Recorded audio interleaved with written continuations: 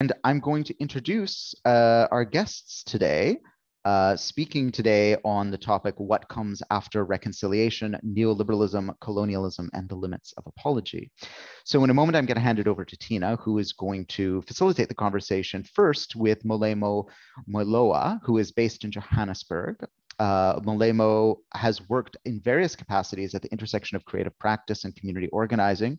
She currently works on notions of ungovernability, social infrastructure, and cultural organizing and relationships to nature. And she is one half of the artist collective uh, collaborative, sorry, Made You Look, and a co-organizer of the Open Restitution Africa project.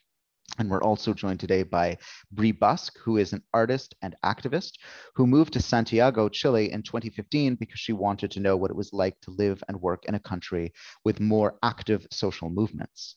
She arrived just in time to participate in the historic feminist wave that is still in effect today. She works as a freelance English teacher and uses her spare time to write articles documenting the political situation in Chile. At present, her political work consists of participating in the Laura Rodriguez Brigade, the art and propaganda section of the March 8th Coordinating Committee, uh, which is under the acronym CF8M. She is also the primary English translator for any texts uh, the CF8M wish to distribute internationally. And with that, I would like to invite Tina to take it from here. Hi, everybody. Welcome. Uh, as Max said, my name is Tina Munroe, and I'm a master's student here at Lakehead. Um, my former work prior to coming back to school was working at the National Center for Truth and Reconciliation in Manitoba here. So my interest in this topic is um, close to home. So looking forward to discussing the international context. Before we get started, I'd just like to do, I would not just like to do, I would totally like to do a land acknowledgement. Um, so Lakehead University, as Rival is a part of Lakehead University, and this is a LIWA event, um, University respectfully acknowledges that its campuses are located on the traditional lands of Indigenous people. Lakehead Thunder Bay is located on the traditional lands of the Fort William First Nation, signatory to the Robinson Superior Treaty of 1850.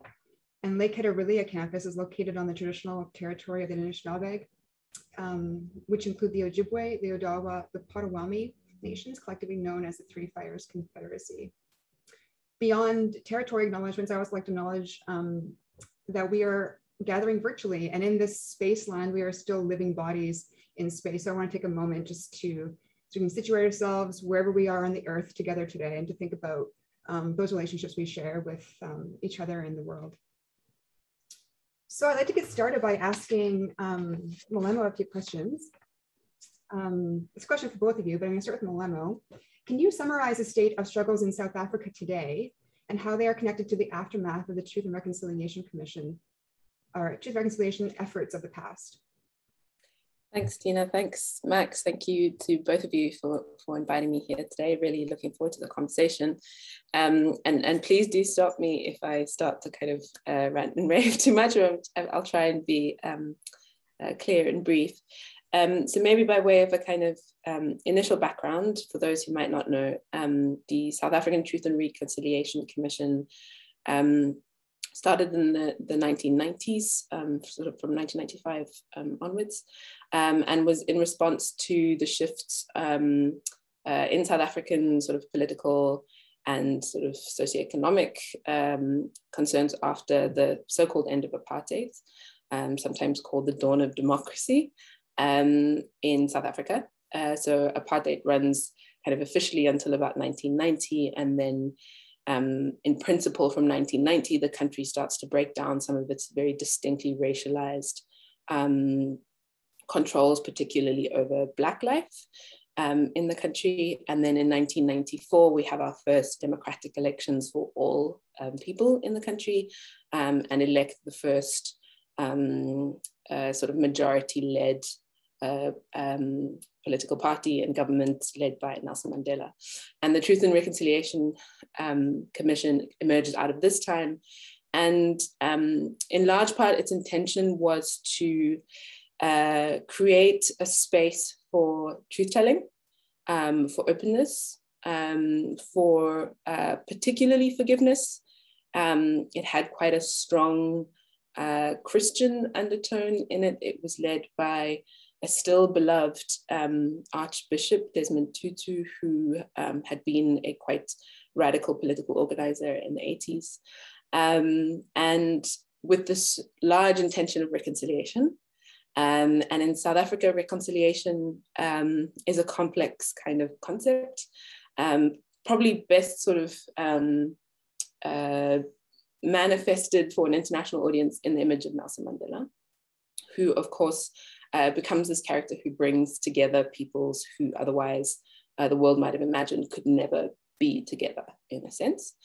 Um, I think important to note that in the early 1990s, the apartheid state also um, began a systematic kind of undermining of um, uh, sort of internal black-black relationships and attempted to particularly, um, in some ways, invent a kind of um, ethnicist conflict uh, that actually resulted in a kind of semi-civil war.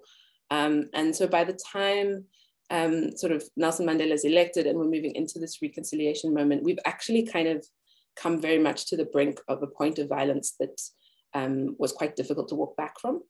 Um, and so actually a lot of the reconciliation was definitely a sort of black-white imagination um, and, and, a kind of question of race, but was also very much a question of um, a kind of uh, a place that South Africa had gotten to that was incredibly violent um, and increasingly hostile to try and create a sort of way forward. Um, and so was very much a part of reimagining a nation um, and kind of inventing a nation. Um, and the term that we embraced at the time was the Rainbow Nation. Um, some people pointed out that there's no black in the rainbow. Um, and this becomes the kind of narrative that emerges in the longer term. Um, in that kind of uh, Rainbow Nation agenda. There's also, at the same time, sort of just before the Truth and Reconciliation Commission, a whole lot of negotiation that happens between um, political parties who've been in exile, who've in fact taken up arms, um, who have been physically uh, fighting the apartheid state, um, as well as a number of internal groups. And they negotiate the kind of future of the country and a set of what, what are called the sunset clauses, um, which in many senses were about handing over a certain level of, certain level of political power, but not necessarily any apology. Um, so so the, the, the, word apology that's in, our, in the title of today's conversation doesn't really apply to South Africa. Um, but also was not about um, handing over economic power in any way um, and was um, uh, a kind of uh, negotiated settlement that uh, ensured uh, that the way that political power was handed over um, would give space to white South Africans to continue their lives to, to sort of a, a greater degree. Um, and the Truth and Reconciliation Commission then looks to try and sort of address some of the traumas and pain um, that the uh, the negotiator settlement has kind of dealt with the, the, hardcore business, and then the Truth and Reconciliation Commission dealt with a lot of the kind of emotions and pain. And the commission was primarily um, a process that you could choose to come to. Uh, there were a few people who were forced to come, but very few. Uh, you could choose to tell the truth.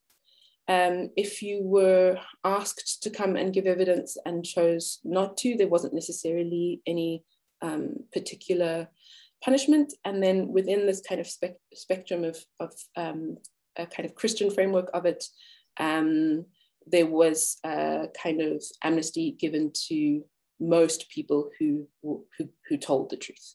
Uh, last thing to mention is that um, the kind of uh, high levels of political power of the apartheid state were not called. Um, and a few of them were called and they did not come. Um, and they were not punished for that either. Um, so, so some people, so, so, most of the people who came and got amnesty were lower level sort of policemen, security forces, and those kinds of people. How this kind of uh, continues to this day um, in terms of our political concerns, I think in every way uh, we very much live in the shadow of what, in fact, Desmond Tutu had said at the time was unfinished business. So the TRC was in, in, intended to be the beginning of a process, the kind of opening up of wounds and the opening up of truths, but certainly not the end of them. Um, and I think in many ways it was politically expedient to, to behave as if the TRC then meant, okay, we've forgiven, now we move on, now it's over, which of course it wasn't. Um, so, so many of the people who first conceived of it saw it much more as an opening up and then a longer process should extend from that. And that was, that was not the case. One of the key things that wasn't continued was that certain people were identified as um, um, needing to then go through a judicial process. Um, and a, um, kind of a number of people did end up in prison, but it was very, very few. And in fact, we're now retrying a lot of apartheid cases um, only at the moment. There's one finished a few years ago, there's two or three currently on at the moment. Um, and those have not been pushed through the formal TRC structures, but have actually been done independently by families. And that gives you a sense of how much unfinished business there is. Um, at a kind of more underlying level, I think that um, one of one of the big things that remains is this kind of lack of apology um, and a continued sense of uh, white domination of the country in large and primarily based on economics. Um, so South Africa remains one of the most unequal countries in the world. Um, we have something like a 60% unemployment rate for young people um, and something like a 45% unemployment rate in general. And of course, the majority of that is Black. Um, one of the big issues is also land, um, which, which at the moment is kind of a, a mainstream uh, question of the country and a lot of the work that I do, uh, which is the fact that in 1913, 80% of the land was given to uh, less than 1% of the population, and 80% of the population was taken off that land. And that continued over and over and over again, um, right through the 1950s and even into the 1980s. Um, and that land hasn't really returned. Um, and the return of the land and restitution um, of, of land issues is a major concern of the country. Um, but one of the main things that really happened, particularly since 2015, has been a concern of, and land is part of this, what has been lost in the process spiritually, epistemically, cosmologically, and the ways in which we have maintained a lot of structures of colonialism and apartheid um, have, have continued. So, so some of you would have heard about the fallism movement, which was which started as fees must fall. Uh, no, sorry, started as Rhodes must fall and eventually became fees must fall. And Rhodes is this colonial figure uh, that many of you would have heard of, who, who was um, in our part of the continent quite a lot. Um, and there's a university named after him. There was a large sculpture um, of him on one of the universities, and he was he was physically pulled down. Of course, we've now seen a lot of a lot of uh, the removal of monuments, but this starts in 2015 um, and is, is, is as much about um, him and his figure there as it then becomes about the question of the curriculum of universities. Um, and then, as I say, economics being such a major issue um, as part of this reconciliation question, um, fees must fall becomes the fact that university is too expensive for the majority of our population because we haven't had this kind of financial shift. Um, and fallism is in many ways a kind of decolonial project, um, but really was a outpouring of the ways in which particularly young South Africans, Black South Africans in particular, still feel as if uh, many of the infrastructures of um, everyday life do not reflect um, the, the, sort of majority cultures of the country. And I think those infrastructures, the university being a, a good example of this, um, are, infrastructures that in many ways have been able to continue um, and that were kind of exempt from reconciliation and their kind of uh, racist, sexist, um, multiple kind of, um, I suppose, inheritances of, of a violent past um, have kind of been skipped over by a lot of those truth and reconciliation processes that aim, aim the, their kind of lens at the most violent most extreme um, issues. And what we see is the kind of uh, ubiquity of some of that violence in, in kind of the broader fabric of South Africa. And I think that's kind of um, the, the, longer term extension of, of some of the processes that TRC started. Hope that makes sense. That was excellent sense. Um, what I'm gathering from what you're saying to me is that, or saying to all of us here today, um, is that the TRC kind of created this separate space wherein these things could be addressed but not acknowledged. And once they are parked, life or business can continue as usual. Um, so what I'm wondering is, um, what sorts of imagination can happen to kind of bridge this gap? Like I, I feel like um, people who have been subjected to these atrocities are, are left to kind of figure out their own way out of it. So I'm curious as to what your art practice has, um, I guess, has aimed to do to mobilize people to um, employ their imaginations um, to find ways that are, I guess, anti-state. Yeah, I mean, I think that one of the things that's really um, emerged was was definitely there in the 1990s, but uh, not as loud, but is is emerging much more loudly now. Is this kind of claim of um, the space of imagination in um, epistemes that come from who we are, as opposed to the ones that have been forced upon us. Um, and so there's much more space for um, engaging with kind of a completely different epistemic, ontological, cosmological positioning, um, and to imagine from these kinds of spaces. Um, not in the sense of being regressive and trying to go back to some, I don't know, originary African past or something, um, but uh, really uh, understanding the need to completely reimagine the structures that we, we live in.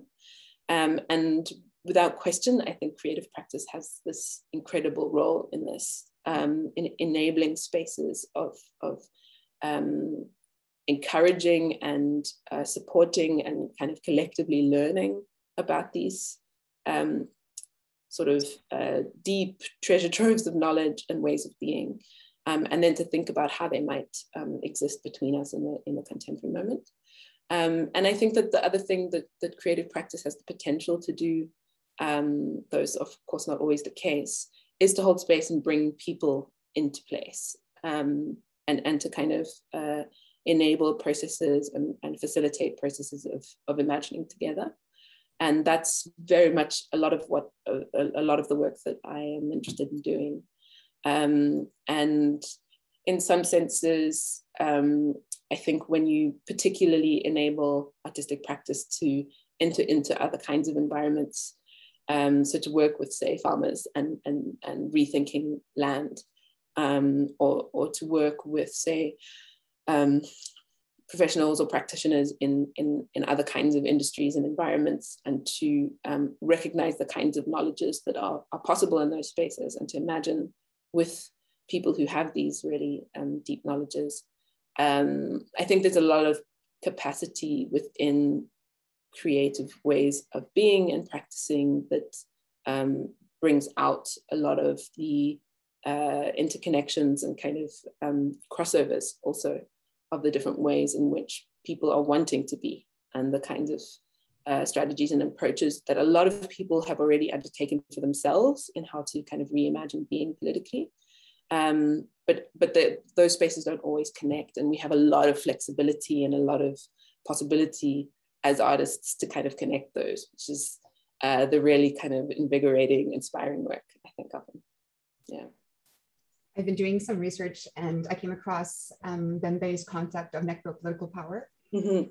How the sovereign determines who lives and who dies by their proximity to power. And I've been thinking about how, as Indigenous people, or myself in my own way, like how can I be the sovereign who allows life, but also allows to let die the preconceived notions of how the TRC should be shaped in my life. So I'm wondering if you could speak to how um, exercising of creative power is um, not only allowing life, but can also allow these ways of thinking to die in our minds and in our worlds and what change mm. that. Absolutely, absolutely. I think there's, um, I mean, with the work that I've been doing with land and, and working with people who work the land, um, death becomes a really interesting space um, because uh, there is so so much capacity in death um, within uh, like composting. uh, if you could get a farmer to start talking about composting and death, and um, I, th- I, think that one of the things that is I, I, have come to really take as an incredible privilege of working from my context um, is that despite the many, many, many limitations of South Africa, uh, we are a majority peoples. Um, and working from the place of a, of a Black majority um, does enable the possibility to um, imagine and recreate and to, and to potentially let go of the kind of constructs, even if temporarily. They can temporarily die and we can focus on the kinds of imaginations that we're interested in, which I think can be quite difficult um, in minority spaces where you're constantly bouncing up against um, a structure that kind of denies um, your own practice. Um, and so because of that, we have a lot of, um, I think a lot of space to really galvanize and mobilize um, in a way that is, is really committed to creation um, ra rather than always to destruction.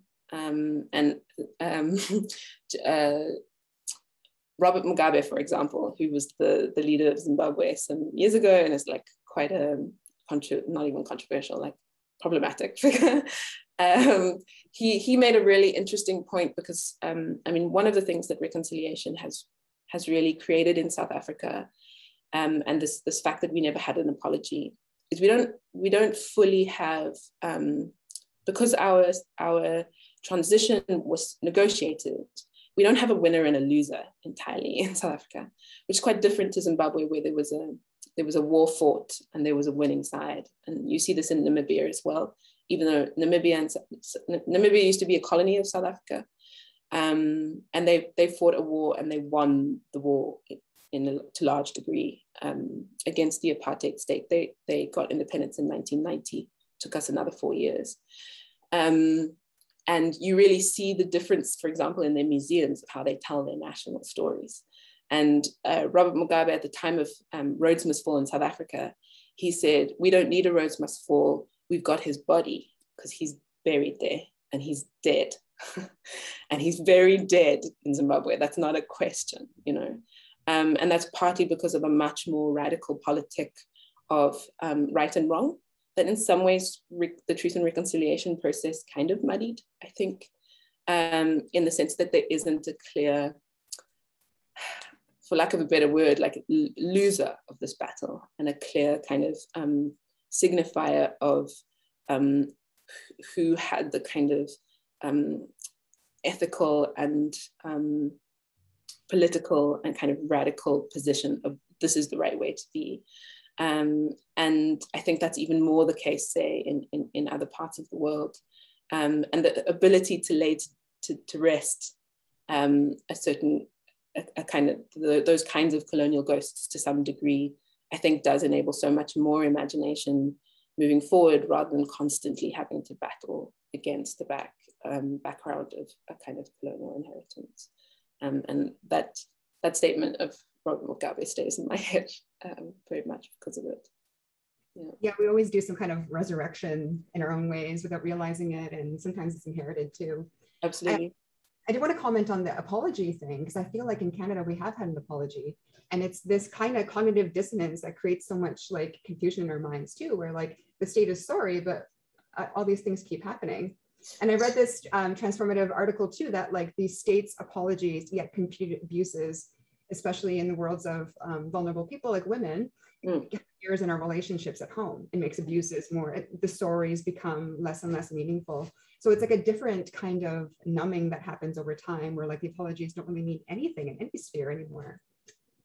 This might be a great, go ahead. Just a, a, a, quick note that that's, that's super interesting because I think um, this, despite the lack of apology, there's also been the position to just move forward. Um, like somehow if someone doesn't apologize, maybe you just kind of um, recognize where someone stands and, and, and move forward. So for example, South Africa's, I think the only country in the world where people have um, effectively been in prison for being racist. Um, so, so, so, we sent someone to, to prison just two, three years ago um, for, for calling a police officer the equivalent of the N word. Um, and a slightly more complicated process. But effectively, this person was, was jailed for being racist. Um, and I think those kinds of like even legal frameworks um, are quite unusual in, in the world and are, are in many ways possible in part because a line had to be kind of drawn, I suppose, particularly some 20 something years after 1994. Um, the lack of apology means there, there has to be, I suppose, a kind of accountability that eventually develops. Again, because we're the majority, that's a lot easier, I think. Um, but yeah, it's an interesting point that you raised there. If I may, one more quick question. I'm, I'm curious about um, the response to creativity at the individual versus a collective level. So mm. I find sometimes there's also, there's like a nationhood representation or identity in terms of I belong to this group and as a group we do this. But I find sometimes depending on where people are at in their journeys, it could be either too quick or too slow. And so how when do you know the appropriate time to kind of break off and to carve something new, to give life to something that no one's seen of them might think they're crazy? that's yeah, that's a that's a tough question. Um in terms of crazy, I mean even challenging the state. Yeah. I mean, South Africa is a, a, strange place in that I think um, long, like a long history of really sort of patriarchal, um, like uh, pretty much dictatorial state has made us quite subject and quite sort of easily subject to authority in some senses. Um, but then, of course, um, decades of mass mobilization against the state means that at the same time we are incredibly anti-authoritarian um, as a as a country, no question. Um, and and that that kind of strange um, switching between those spaces can be quite tricky. Um, and so when when entering radical ideas into a space, um, I find that you can get kind of either one or the other reaction from the same person, depending on how it's kind of positioned and presented. Um, and I think understanding this constant switching um, but also understanding the histories that those come from um, means that you can call on particular familiar understandings of, of um, an, an, an anti-authoritarian positionality, which I, I, really love this, this term ungovernable, which comes from South African history. Um, and and at, at some point, there was this um, pirate radio station of the African National Congress that was in exile um, and the speech that came out, which was about rendering the country ungovernable. And we have a very strong political line of ungovernability, um, even to this day. Uh, we have a party called the Economic Freedom Fighters in Parliament, for example, who, who have become effectively the, the biggest um, opposition party in the country, um, who come to Parliament dressed in mine workers' clothes, um, which is kind of the image of the worker in South Africa because of our history, or in like domestic workers' clothing. Um, and they're an incredibly ungovernable party. And, and just those significations of the mine worker and the domestic worker are the kinds of um, ima imaginations that people are able to click into and understand this kind of tradition and where this um, story is coming from. They're like head to toe mine mine workers um, clothing in red. Um, it's just a very particular kind of visual signification. Um, and I think understanding those uh, nuances of language um, and those nuances of familiarity um, become the kinds of strategies of enabling people to come with you. and and, and under, being able to utilize those and really connect to that kind of ungovernable strain in all of us is, is how you start to bring people with you slowly um, in my experience, that's kind of what I've seen. Yeah, the trick is to kind of convince them that you too are ungovernable. I think this is an excellent segue to transition to speaking with Bree and the experience in Chile and Santiago. So um, thank you, Molemo. Uh, Bree, I'd ask, uh, uh, like you, if you could summarize the state of struggles in Chile today and how they're connected to the aftermath of um, Chile's student reconciliation efforts. I believe Chile's was in 1991. Mm-hmm. Uh, first of all, thank you, Molemo, for everything you said. I found so many points of resonance. Like, even though South Africa and Chile have so many differences geographically and beyond, but like, there were so many points where I was like, yes, that is also so connected to our experience. So, thank you. I loved it. Uh, so, uh, we'll do the extremely brief history of the past 50 years of Chile. So um, I think an easy starting point is the election of Salvador Allende in 1970. So Allende had a vision for uh, making Chile into a socialist country, but in a top down way. The idea is like to use the democratic process to uh, create socialism, basically. And the idea was to have an alternative to, say, like the Cuban process. Said, like, we don't need a revolution, we can do it a different way. Of course, it wasn't different enough for the powers that be because any sort of like socialist or communist project in the world was considered a threat at the time. So, with pressure from the CIA, from the US, a lot of pressure was put on the Allende administration. Uh, that took the form of like economic pressure and sabotage, and eventually a military coup in 1973. So um, that coup, what resulted in a 17 year dictatorship under the presidency of uh, General Augusto Pinochet.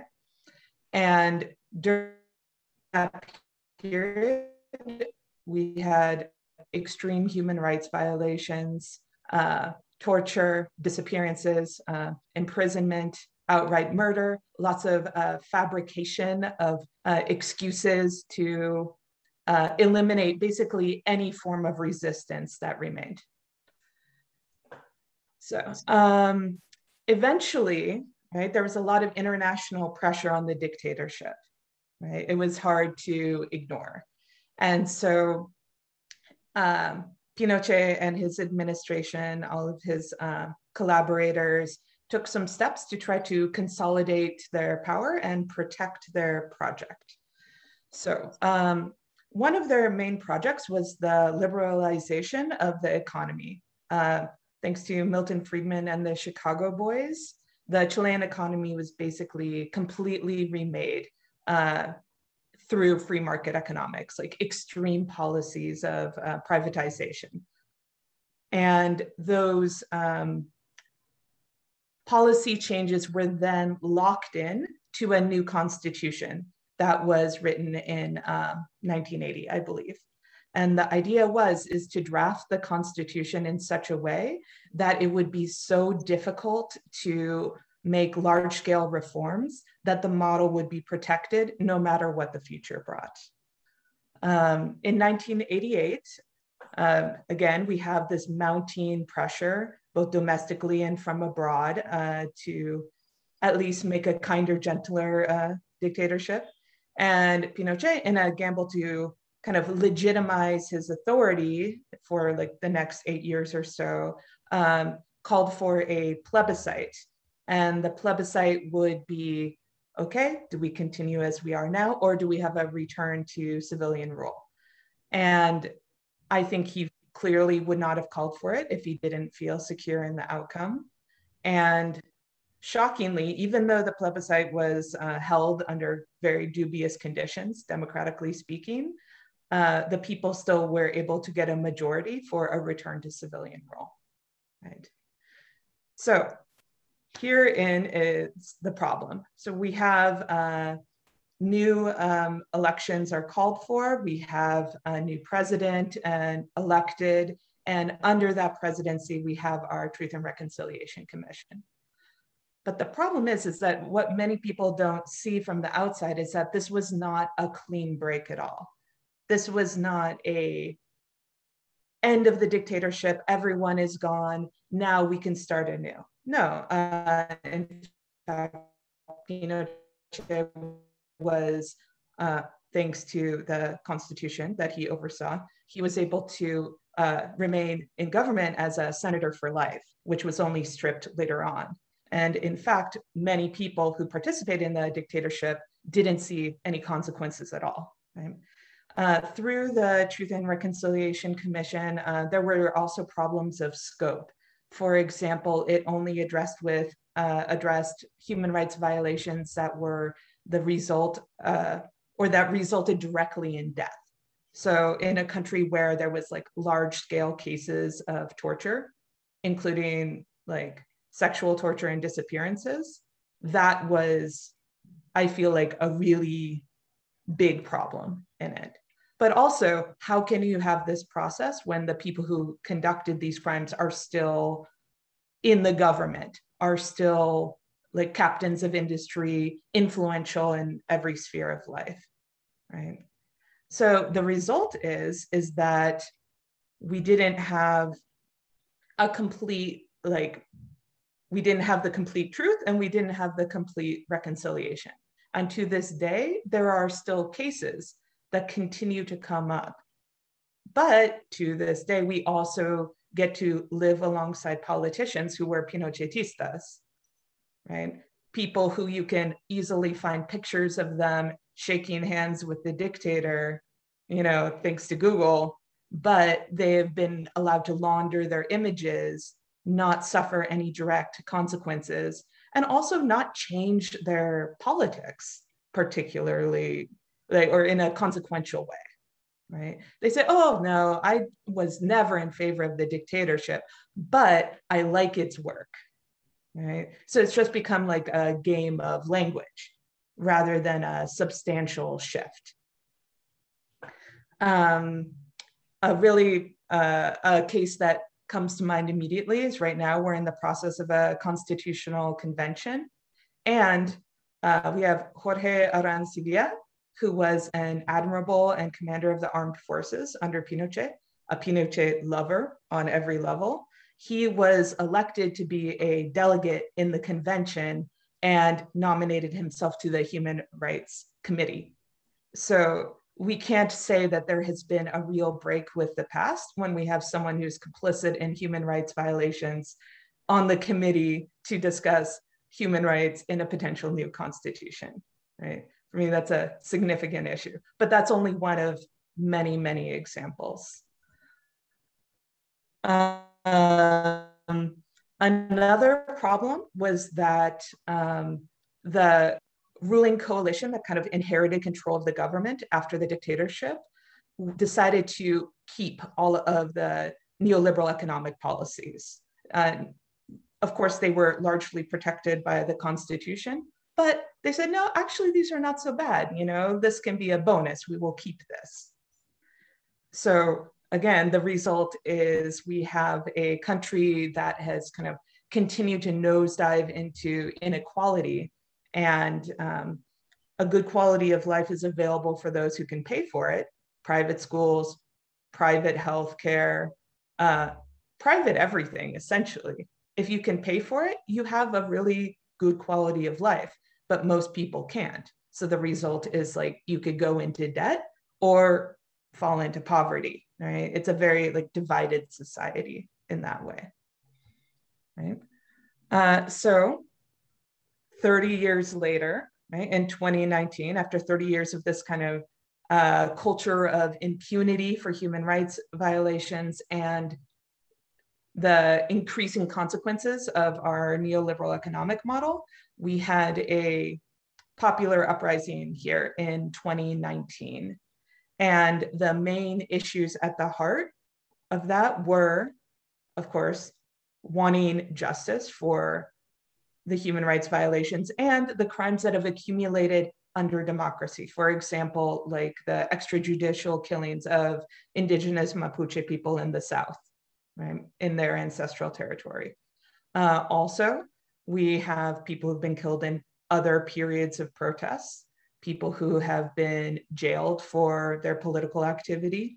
And then within the uprising itself, we had um, a continued theme of violent state repression, resulting in like the large scale maiming of protesters, like hundreds of people were shot in the face with um, rubber bullets resulting in loss of eyesight and other injuries. Right?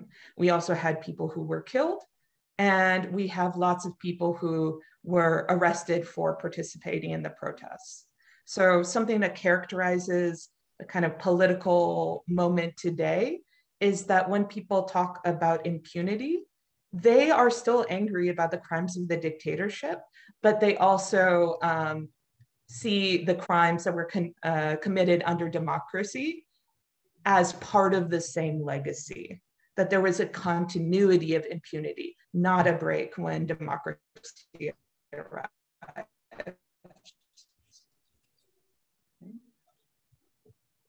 I could go on, but that's those are the main points.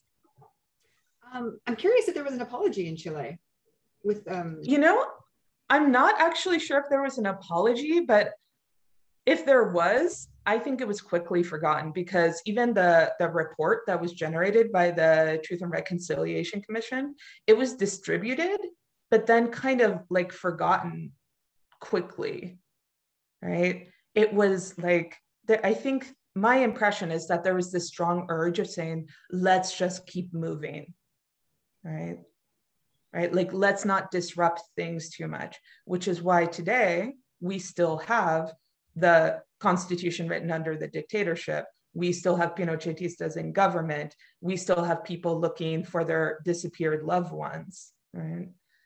So there's even a binary. There was, yeah. Mm-hmm. Sorry, there's a binary between this, like the violations were only um, convicted if they were in debt. So it almost like legalized any other type of oppression or disappearing of anyone like intention, yeah. you know? Yeah, I think that's a good observation because like during the revolt here where there was like large scale protests all over the country, like there were videos that we would like see through our WhatsApp groups of saying, oh, someone being grabbed and put into an unmarked car. We also had a uh, a curfew and we had the military in the street. And the last time the military was used uh, against the civilian population in this country was under the dictatorship. So people who had lived through it were traumatized, but their children were also angry because they know what the symbolism of that is. And of course, beyond the symbolism, you have military in the street. So, talking about the children, then I'd like to maybe pivot to the protests of 2019 and mm-hmm. led to that because um, I think it was largely, as I understand, it was largely organized by youth. And I think that's a really mm-hmm. powerful position to be in. So um, I'm really curious about the um, like the mindscape of youth who grew up in the shadow of like such a TRC and violent state with all this crazy stuff going on. Um, what kind of mass mobilization like that has meant to um, anti-neoliberal movement?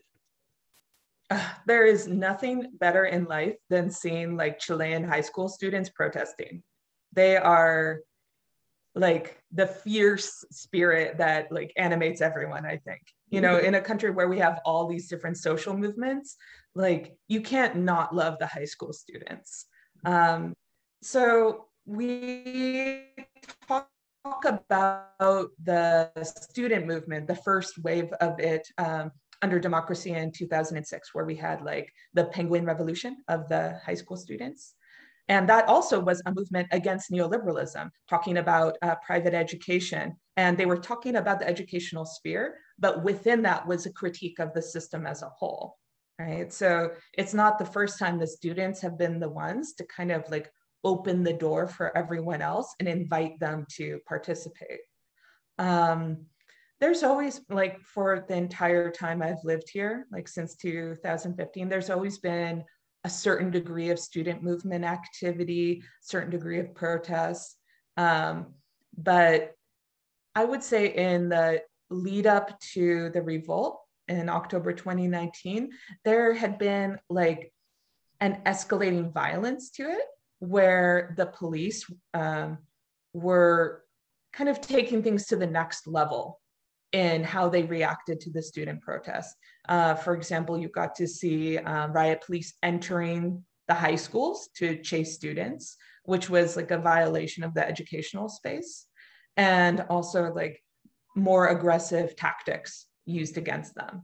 But the students, in a way, they're fearless. And in fact, the first generation that participated in student protests after the dictatorship was called like the generation without fear because they were born within democracy. So they didn't necessarily carry the direct trauma that their parents did. Of course, there's still inherited trauma from that, but they um, they felt more empowered to return to these types of mass mobilizations, right? That were so dangerous before. But uh, yeah, there was this kind of building tension that I think anyone in Santiago could feel between the police and the, the high school students. And eventually they launched a campaign in response to a really minor fare increase that wouldn't even affect student fares. Uh, they decided to have an evasion campaign. So you would have like groups of 50, 100, 150 students uh, jumping turnstiles together and occupying platforms. And it was wonderful. But then uh, the they started anticipating these uh, student invasions and the police started blocking off the stations and the students started tearing them back open and entering again. And it escalated very quickly, right? Because people were caught up in the moment of it, started joining the students. And so they were definitely the first ones, but they inspired everyone else to join in. And also, the older generation got to see their children getting brutalized by the police for what was a nonviolent protest, a very rowdy nonviolent protest, but still nonviolent. And you got to see them like 16, 15, 14 year old schoolgirls getting shot point blank with rubber bullets. And that's something that you can't easily forget. So that same evening where things escalated, right? Uh, everyone went out to do noise demonstrations in the evening spontaneously, like all over the city and in other parts of the country. And from then, it only escalated. Was there like a demographic difference among those who were motivated to take to the streets and protest in such ways? Like I feel like, or was it just kind of like, was it, was there unity among classes, among different groups of youth? Or was it just kind of uniting under the banner of oppression of these? Well, states? among the students or among everyone? Among, well, I would start with the students. Um, okay. And then branch out from there. Okay, well, I would say like uh, the students who are generally the ones most active in the student movement in general uh, attend what we call like emblematic schools, which are public high schools that are still like high quality, which are limited in number, right? Usually, if you want a good education, you go to private school. And the private schools are generally religious and exclusively religious and really suppress any sort of like culture of protest within them. So it's going to be the public schools and also these uh, emblematic high schools, they have a mixed class character, which I also think is really important because some people want to send their students there because it's a good school. Others, you know, might just, it could be a public school that they can send their children to. And I do think that um, demographic mix is important um, for and also like uh, students inherit inherit the political legacy of a particular school right? There are schools that throw down. Mm-hmm. and like so you know that if they say oh the students from uh, carmela carvajal one of the uh, girls emblematic schools if you hear about that you say oh yeah those 14 year old girls will take over your building and run it better than you can and they have a generational legacy of doing that because within these schools and their movements they have a very quick cycle of training right? So you have 17 year olds helping the 14 year olds and 13 year olds kind of begin to take on the responsibilities.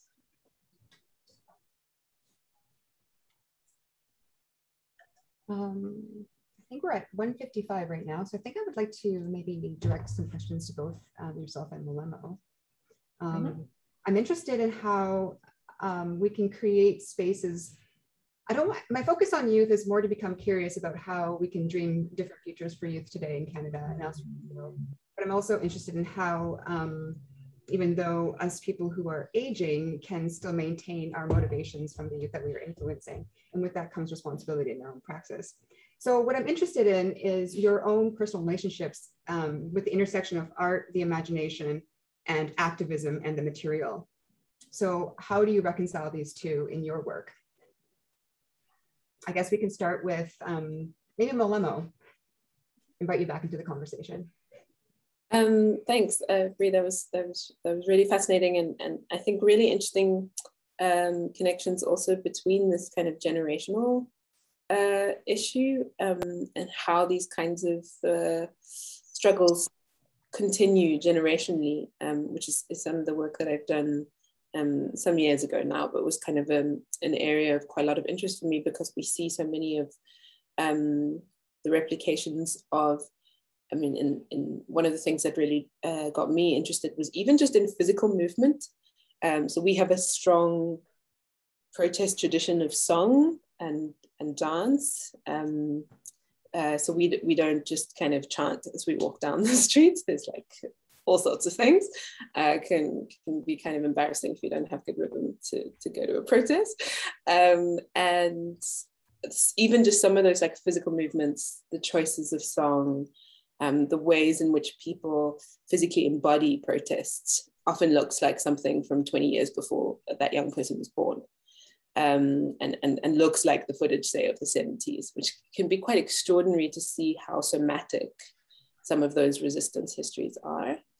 Um, but maybe more to your, your question, Tina, I think that, I mean, for me, I, I come from a, uh, a tradition of um, a kind of political resistance that was quite committed to everyday life um, and a practice of uh, political organizing that was um, very much about kind of uh, localized uh, everyday existence and, and, and a political positioning around, um, yeah, I suppose sort of ordinary everyday, everyday life organizing. Um, which could in the you know during apartheid did end up people ended up in prison you know for for just trying to like help grannies with their um, uh, refuse removal, for example, uh, which is how, how my father, one, one of the times my father ended up in prison was for that. Um, and uh, that tradition, I think, is really valuable for me um, as a way of thinking about uh, the way that I choose to kind of operate in my own sort of uh, political positioning and that connects quite well to the way um, I'm interested in, in, in, artistic practice and creative practice as well.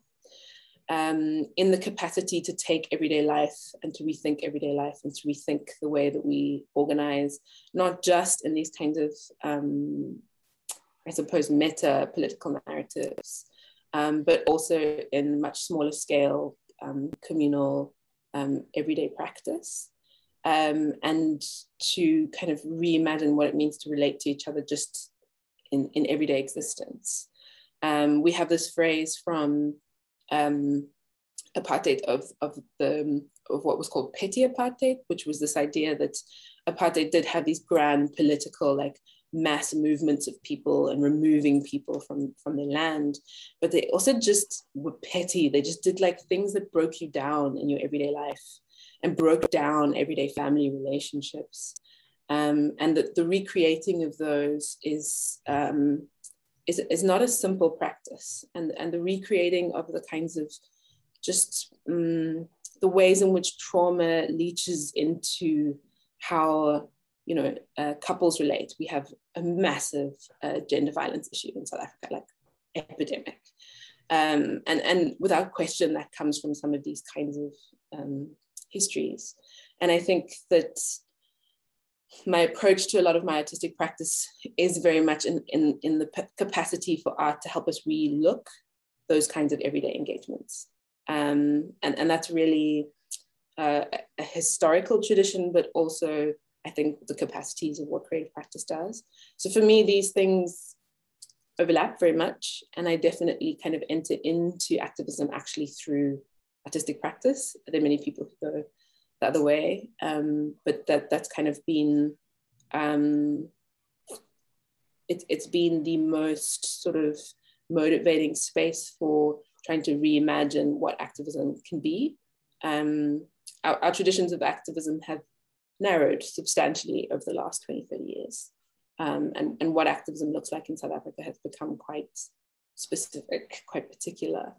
Um, and I think creative practice also enables us to, to shift that um, and reimagine what, what forms of activism can be.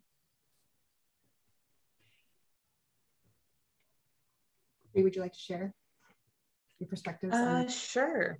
uh, I was very into the uh, mention of like the kind of practice within everyday life. That's also a very big factor for me.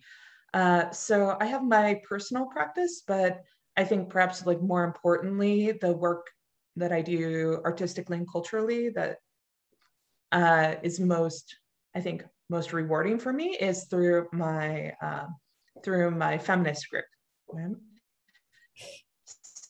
So we are a section of a larger organization. There's about 40 of us, and we intervene in public space through um, art and um, other types of like visual interventions. And we do a very wide variety of activities, but I think uh, we can kind of break it down into a few different categories. Like, for example, we're very connected to kind of unearthing women's and feminist history and like stories of resistance, like going back before the dictatorship, of course, but also taking a lot from the resistance that our uh, forebears uh, carried out against the dictatorship because there was a very strong cultural element uh, to that. For example, um, was an embroidery tradition of depicting these kind of uh, collaged embroidered scenes of resistance and violence. Um, they're called uh, arpilleras and they're incredibly beautiful, but they capture history. So that kind of um, history and practice of like creating textiles and documenting our resistance is something that we carry on. Like it's part of like honoring what came before, but also acknowledging that we are a continuance of that and we take responsibility for that. Uh, the same can be true for dance and other types of performances. Um, the symbols and graphics that were used during that period and in earlier stages of history are ones that we kind of rescue, but then we reinvent and update to kind of uh, not just to take something whole cloth, but to find a way to continue it in a way that makes sense for like the current struggles. Like you can particularly see that in the incorporation of um, queer liberation struggles and much broader ideas of gender and you know beyond the idea of framing ourselves as a women's struggle we don't do that so much we we're a feminist struggle and understanding that the people who fight that are the ones who suffer directly under patriarchy. So these are kind of concepts that weren't necessarily in play so much for the previous generations, but we can take their practices and incorporate these new analyses and kind of build on them and expand them. And uh, yeah, and we have like the practice of memory, right? Not just of researching our history, but of commemorating, like commemorating martyrs, like those who were killed or disappeared during the dictatorship, but also victims of femicide, right? Now people will uh, commemorate them the same way using some of the same traditions. That also extends to now, um, for example, women who were um, socio-environmental or indigenous activists who were killed for their activism, or even more recently, um, Black migrant women, uh, Haitians who have been killed or at least neglected in a way that resulted in their death, right? Basically, different forms of state violence. So even as we have new people arriving to this territory, we are already incorporating their oppression and their resistance into what we're doing today. And I think art and culture is so flexible in that is that we can invite people into our narratives and symbols and practices in a way, right? So we can always be, uh, we're never too fixed in time. And that flexibility that doesn't sacrifice history and memory, I think is something very valuable, like in this time going back to what you're saying, Molemo, about reconstructing relationships, there's a certain like politics of refusal that goes into refusing the way things are and then injecting life into the way that things could be, which is inherently activism. And even in choosing what to create is, um, I guess, activism in its own way. You were just talking about commemoration and memory, um, which is a great segue into my next question. I want to talk about um, like the, the anniversary of the protests in Chile is coming up on the 19th. Um, and it makes me think about collective remembrance here in Canada, where the state now recognizes September 30th as National Day of Truth and Reconciliation. So um, it was formerly Orange Shirt Day to um, commemorate survivors of residential schools and those who didn't come home and their families. But I'm wondering what the limitations of such um, state sanctioned dates of remembrance when they become opportunities to buy orange donuts. And so I'm wondering what your observations have been on the outcome of these state implemented days of recognition as they have come and gone, um, especially where there's ongoing violence. And if there is sort of a politics of refusal of these days of commemoration and how people are maybe taking them back in their own ways. I could go. Yeah. Whoever's ready, sure. Um, yeah. So uh, we don't have uh, official days, right? But we have our own days. Uh, for example, September 11th. Like for us, that is a day of struggle and commemoration. And there are a lot of practices associated with that. Um, the perhaps most important one in Santiago is that there is a procession from the downtown area to the general cemetery in uh, the north of the city, right? And then the groups that have participated in the march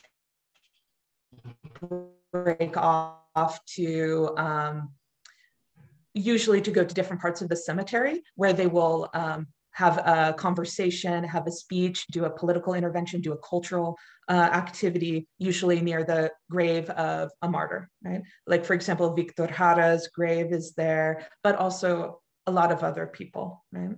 And it's um, usually a very intense march with very, very strong police repression.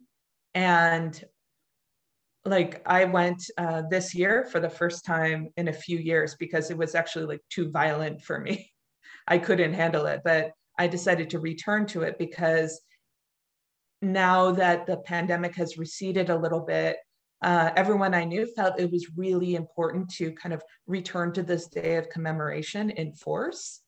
And also within that March, we also were remembering um, the people who are in prison today right? Like particularly um, uh, indigenous Mapuche activists, right, who are political prisoners, and then also people who are in prison because of protesting during the revolt.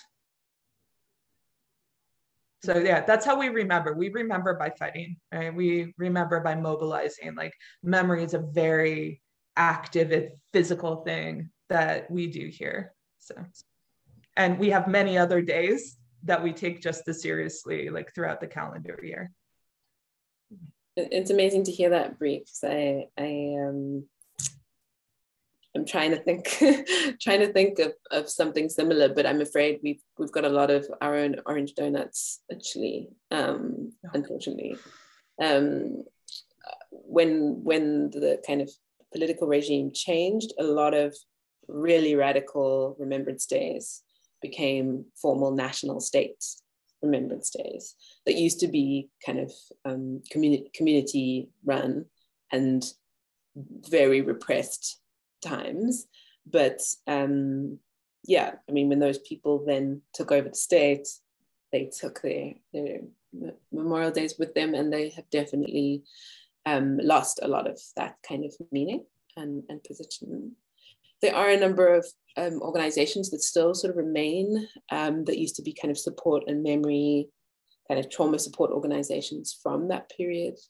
Um, but they've gotten increasingly smaller um, and sort of less influential.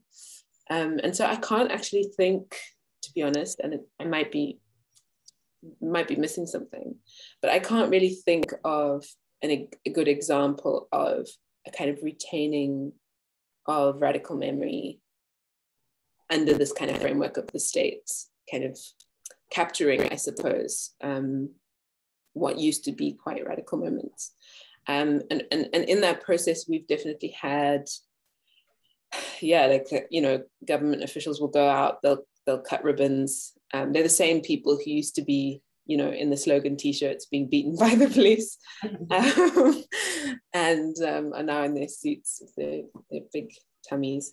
Um, drinking lots of whiskey. I'd like, yeah, I, am not coming with anything uh, inspirational here, I'm afraid. I'll just stop. but I think I think that's the point of it, though. I think that's what I, I'm encountering too. Is I, I see these commemoration events, and I see the prime minister there, I see leaders there, and so I think that they almost represent a ceiling of behavior in such Absolutely. cases, right? And so that challenges the imagination because, like, you if Justin's not doing it, like, what am I supposed to do? And then it goes back to this like collective versus individual reaction to change. Mm-hmm. And um, for me, like um, Bree talking about how commemorations make us angry, that makes me angry. so thinking about the lack of commemoration, commemorations. Yeah. Absolutely. And like rethinking about, um, it's like the state allowing us this little area to practice our commemoration or whatever, but it's, it's mm-hmm. not really doing anything. Um, with that, I think maybe we should open up to our audience who's been very attentive with their um, time today, who's joined us. And I think Max is going to help facilitate that. Thank you, Tina. And thank you to our guests for these uh, phenomenal presentations. It's been a real, um, I've learned a lot. And it's been so wonderful to have these reflections that come, you know, about a week ago, we had our National Day for Truth and Reconciliation in Canada and a lot of discussions about what that means. And I feel like the internationalizing this uh, conversation really, really helps um, open it up in interesting ways. I do want to invite folks to uh, chime in now and share their positions. And uh, what I'll do is I'll maybe ask us to gather uh, four or so uh, impulses, as they like to say here in Germany, impulses. Um, and then uh, turn it back over to our guests just so we can get a lot of voices. Um, if you want to type your question into the chat, you're welcome to. Otherwise, I'll call on you. And if you want to unmute yourself and or uh, un, uh, add your video, you're welcome to do so in a minute. While you're just percolating on the question, I do want to say um, that we are in the process of planning two more events for this calendar year.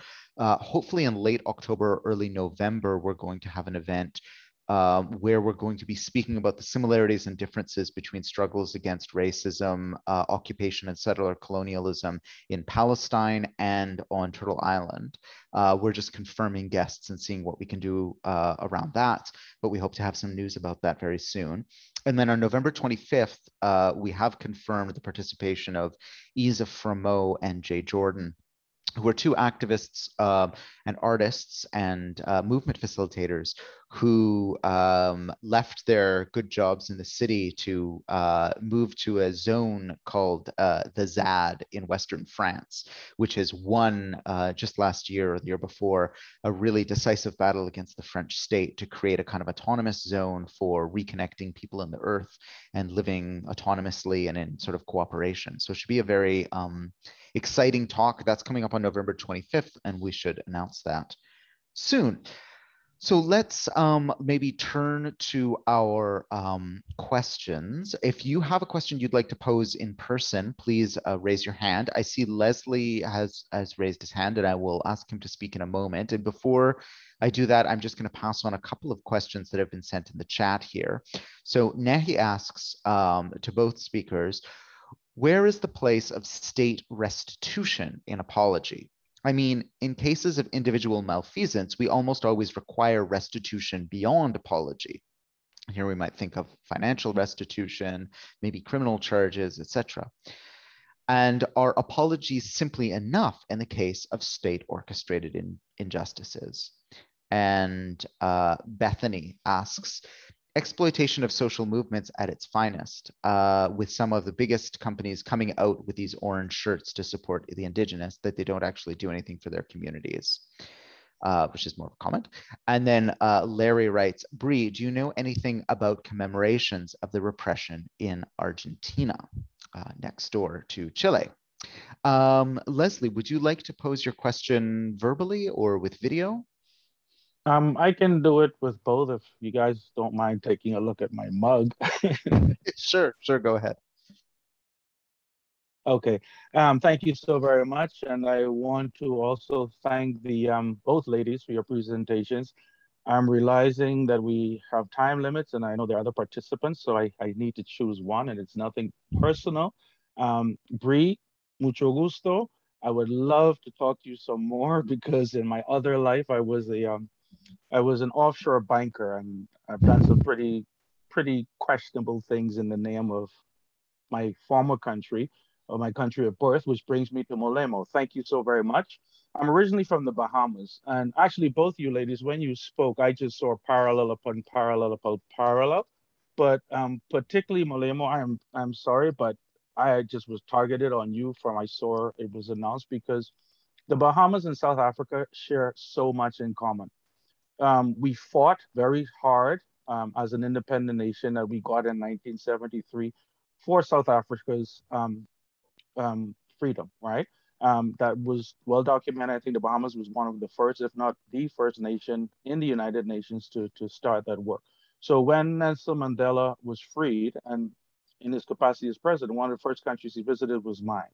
And I was so proud. And the one thing that he said, and it sticks with me to this day, was he, and you said it as well, he talked about, okay, you guys have this political freedom, but unless you have economic control, it's not happening. So in in learning about the history of, of the country that I was taking, my people were taken to as slaves, it was discovered that as we were fighting for our, our independence, majority rule, in the 1960s, and I want to know if you're aware of this, there was a deal between the United Bahamian Party, which was the, the British, um, I guess, government of the day, had an agreement with South Africa.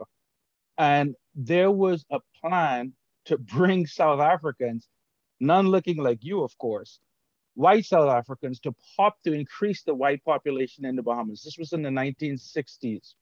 There is an area designated for it. I mean, and it only came out during political elections, I think maybe in the 70s or 80s, but it just disappeared, right? Because unlike South Africa, we never had a Truth and Reconciliation Commission.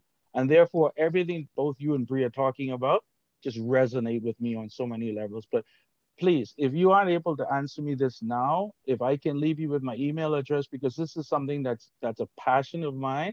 And I'm in Canada now, and everything lines up the same way you're both saying it, but there's that connection going back to that the link between the Bahamas and Canada and, and South Africa, I'm sorry, is just too crucial. And because once we got our independence, once you got your independence, it was then discovered that Sol Kerzner builds Atlantis in the Bahamas. But then guess what? He then, after all of that is done, sells thousands and thousands of acres of land that he had held in the Bahamas during the time of apartheid. This was from the 1970s. Then he is selling it now back to the population. So there's a lot of history there. And I just want to understand that connection because without knowing that in my past, I can't be of any good use to to indigenous peoples here in in my new home, which is called Canada, right? So sorry to run on so much, but if, if you can just add some light to that, either here or later on for me, I'd, I'd be very grateful. Thank you so much. Thank you both. Thank you, Leslie. Um, guests, do you do you have some responses that uh, you'd like to share at this point? I can also share more from our from our audience. And again, audience, we do have a little bit of extra time, so if you do want to chime in, please do in the chat or uh, raise your hand. Maybe I can jump in um, right away. Thank you so much, Letty. I mean, I, I actually did not know about, I, I know about the Bahamas support of um, uh, yeah, the, I suppose the independence of South Africa. Um, but I did not know about this sort of pre uh, connection. Uh, it does sound quite likely. I know that um, I mean South Africa, like many other white supremacist nations, had a poor white problem, um, which was this kind of uh, embarrassment of of uh, a section of the white population that didn't uphold the idea of supremacy, um, and their approach to that was often to ship them out. Um, and so, for example, sent a number to, to Namibia um, to be farmers in Namibia as a way to kind of um, improve their lot in society. Um, and there were a number of those kinds of projects. So it, it, could be something in relation to that. So, so, so it wouldn't surprise me, but it wouldn't surprise me in one sense, but in another, very surprising. Um, and, and similarly with Sol Kerzner, um, there's, there's quite a lot of history on him um, again wouldn't necessarily surprise me um, and and kind of connects maybe to that first question around land um, and, and Sol Kerzner of course um, he uh, how did this quickly? He had a, um, he had relationships with um, black leadership in what were I said were actually modeled um, what we call Bantustans, but were modeled off reserves in Canada um, for uh, Black South Africans, which tried to put the majority of population into reserves. you, can, you can imagine what that land is like, um, and and most of most of the African population remains in those kinds of spaces, um, which are completely overgrazed, like uh, really difficult um, spaces to live. And um, Sol was kind of um, part was was close with a number of these Bantustan leaders um, who were kind of independent land leaders in a sense, but under a, a, an apartheid created system. Um, and those kinds of questions around land ownership very much remain the, the primary kind of question of restitution in, in South Africa um, and the need to return the kinds of um, various forms of the means of production, I suppose, um, into Black hands, because that just hasn't happened by and large. And where it has, has been within um, certain kinds of neoliberal systems that come with very little political power um, uh, in the process, or, or not, not meaningful, meaningful political power. Um, and, and that kind of, that economic question really at this stage is the kind of uh, glaring question of the country. Um, and we have a number of systems. We have like a, a very well established um, um, sort of positive discrimination process in terms of contracts and those kinds of things, because of course we now have a government that is, is black run. And so that's very much part of the legal systems. Um, but it's a, a, sort of trickle down type um, approach to that doesn't work. We, we know that. Um, and, and still fits very much within these kinds of neoliberal systems. So I think a lot of resonance with with both what you said and what Bree has said. Um, yeah, I mean, I, I, and that's really where the restitution question remains for our our country very much. But definitely, let's let's share emails. I'd, I'd be interested to hear more.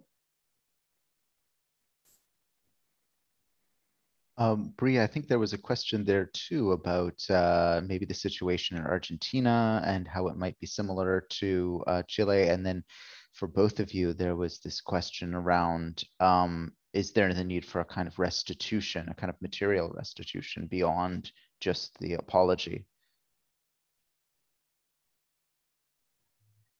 Um, to address the question about Argentina, so uh, I'm not an expert on what happens in terms of the institutional level there, but I know on the social movement level, we share a lot of similarities, uh, particularly as um, as feminists, we both have very large, well-developed um, feminist movements that share an anti-liberal and anti-authoritarian perspective. So there's a lot of mutual energy sharing between us. And I know that absolutely they commemorate uh, their own days and they also remember their own martyrs. And of course, unfortunately, that list is uh, that list of names is always being added to in Argentina as here. Right? So the people who are disappeared are not only the ones that were disappeared during our uh, respective dictatorships. Um, in terms of restitution, um, restitution did take place here. I do know that there was a certain degree of like property being returned. Like I know, for example, like um, the Socialist Party had all of its like assets seized, I think, and those were returned. And but in a way, you know, this is a big conversation to open up, but I could say that it, in a way, I don't know if it helped because it kind of was more about preserving like the status quo. Like hey look you can have some stuff back. Look you can kind of return to political life. The socialist party was uh, had two presidents, you know, in the after the return to democracy, right? And yeah, so it was like, you know, we have just as many um, rich, powerful people from the left here, maybe not as many from the left as from the right, but we know what it's like to suffer under a socialist president here, right? We know that they're happy to preserve like damaging economic policies. They're happy to use um, the police and military against protesters who question the system. So, like some forms of restitution, maybe we're not the ones that would were designed to heal the wounds. But there are some like different types of policies that I know about that I do like. For example, um, we have a very like lax uh, immigration criteria for Venezuelans because they accepted Chilean exiles right? They were a country that accepted a lot of Chileans, like during the dictatorship, because Chileans were forced to flee the country or sent all over the world, right? And because of that, even now that we have a government that's cracking down on uh, immigration in a pretty brutal way, uh, escalating over the past couple of years, like Venezuelans have been allowed a, a somewhat easier path than other migrants uh, but of course, even that has its limits because now, uh, just recently in the past week, we're seeing some really violent, xenophobic, anti migrant protests, right? Um, most recently against uh, encampments of Venezuelans who are trying to move through the country. But there's also been a lot of specifically like anti Black, anti migrant Haitian, uh, like violence against Haitian migrants. Like and now, of course, we can see the consequence of that in the US as Haitian migrants are leaving Chile because it's a place where they have very little opportunity, forced uh, to pay high rents in slums, working for nothing, and experiencing anti-Black racism. So it for me, when I saw these people arriving, you know, on the US border, I say, yeah, I understand why they would try their luck because the the context here has become so hostile for them economically and culturally and socially. Um, thanks, thanks for that, Bree. Um, guests, uh, any final words before we let our uh, audience go and and call it a day?